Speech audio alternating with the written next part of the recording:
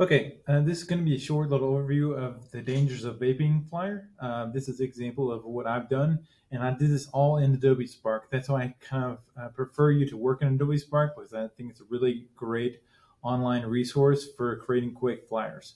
Okay, so this is kind of what I did here. Uh, so what we're going to do is actually go back to Canvas. I'm just on the home page here, and I'm going to go to Modules. And I'm going to go down to uh, the dangers of vaping. That's the first personal expression project we're doing. And we're going to start with, uh, we're going to do the design process. So you're going to start with a thumbnail sketch. What I'm going to do is I print this out for everybody and give them a thumbnail sketch.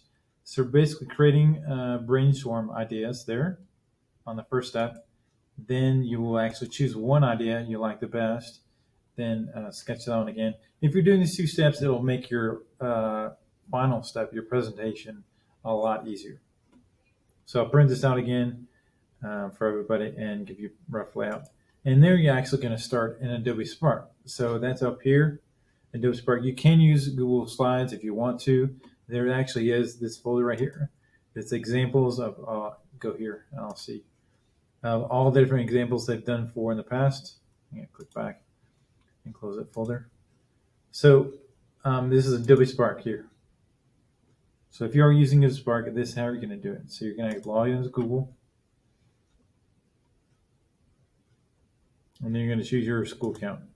So you'll have to log in with your school, provide an email address and your password, just like when you log into Canvas. Okay, so what you're going to do is to start with a flyer. Okay, so starting with a blank flyer. Uh, Adobe Spark is really, really intuitive uh, and it's really easy to use. Okay, so you can just click on the background here. It starts by 11 by 17. You actually can check on that if you want to. You can see that this is a 11 by 17 that's right in. And that's what you want. Um, so you click on the background, you can change the color, you can choose the image. You can actually use from these colors here, or you can actually use a bunch of these. I would probably choose one of the lighter colors. Darker colors don't work too well like a dark blue that just doesn't work well for the background.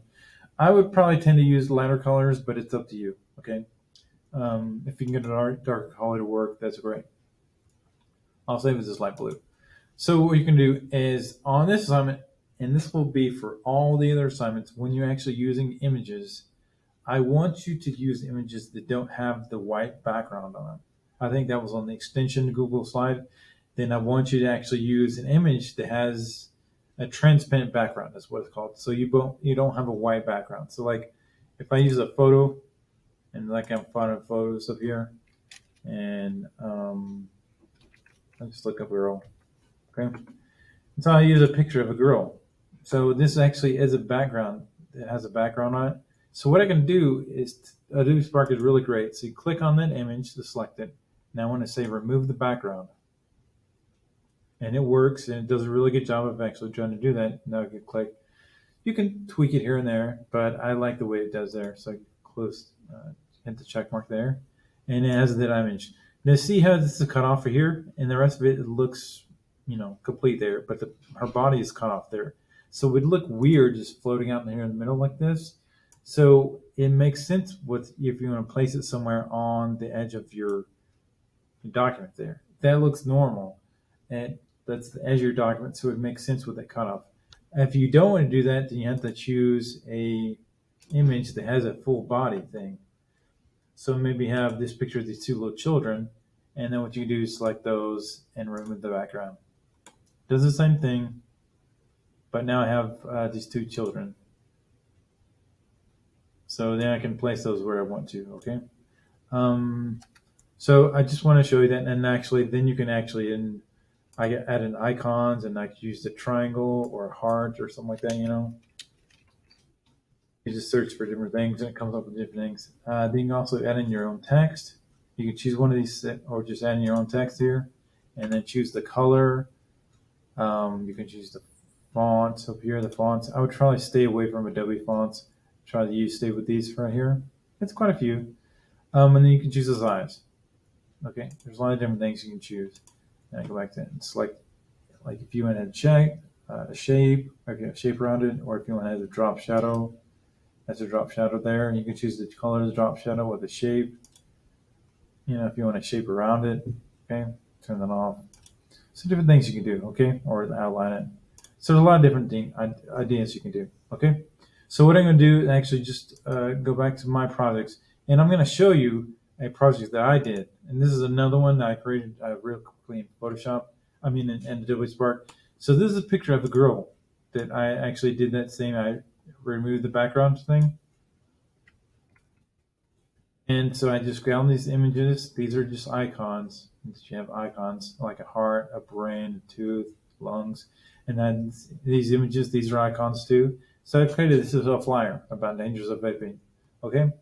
It's kind of like I did here on um, my assignment over here. I did a little bit more how it affects your body kind of thing like that. So that's kind of what I want you to do and what I want you to see. Okay. And then when you're ready to turn this in, like say, this is what I want to turn in. Okay. So now you need to go to download, go to JPEG, you leave JPEG. So what you do is you start downloading it. You can use a solid background because it's the background picture is transparent, but I can leave the background color solid. Okay. So it's got like this uh, cream color, you know. And what I can do now is that image there is in my downloads folder. So I can go back to the assignment here and uh, dangerous vaping. And I will click on my student view so I can see what you're seeing. All right.